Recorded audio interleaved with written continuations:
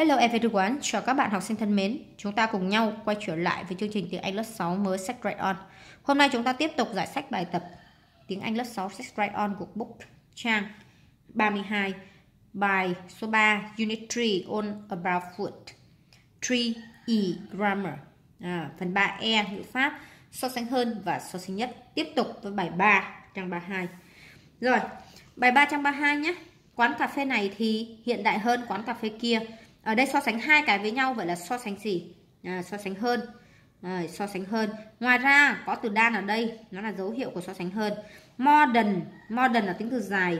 À, vậy chúng ta sẽ xài more modern. More modern more modern.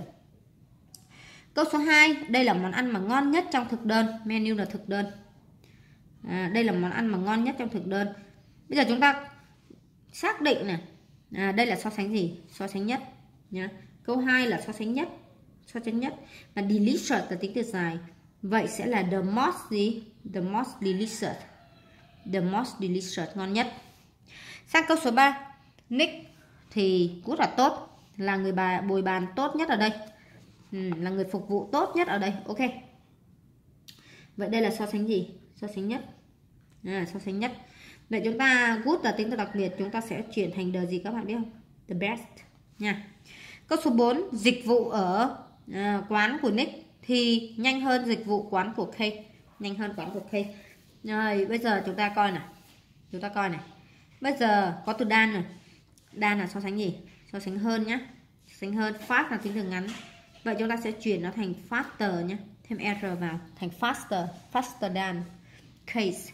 Câu số 5. Peter thì thân thiện hơn Steph. Ở đây so sánh hai người với nhau mà có từ đan thế này là so sánh hơn này. Không có đan chúng ta cũng biết so sánh hơn.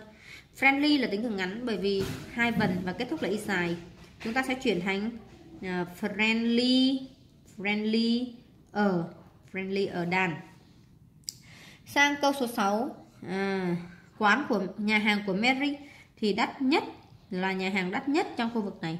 Đây là so sánh nhất đây là so sánh nhất. Rồi so sánh nhất tính từ dài vậy sẽ là the most expensive the most expensive.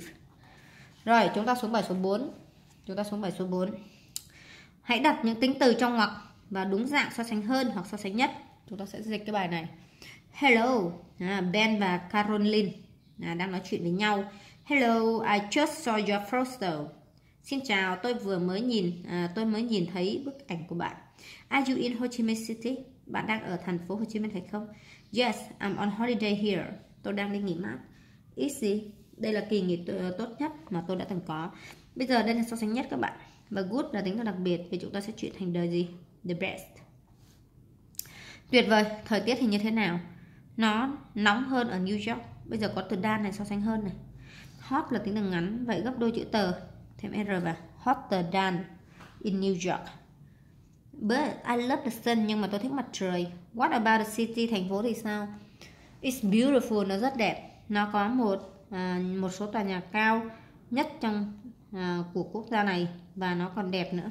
Ở đây so sánh nhất the gì? The tone thêm Esther là the tone lịch. Rồi tiếp theo.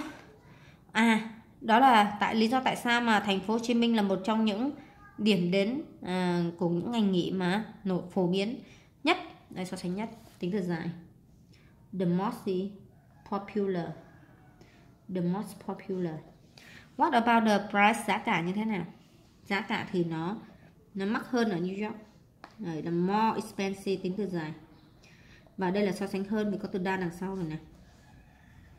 Nhưng đồ ăn thì tuyệt vời ngon lắm. Và mọi người thì thân thiện nữa. Thành phố Hồ Chí Minh là một trong những nơi à, ngạc nhiên nhất vậy là the most gì the most amazing the most amazing.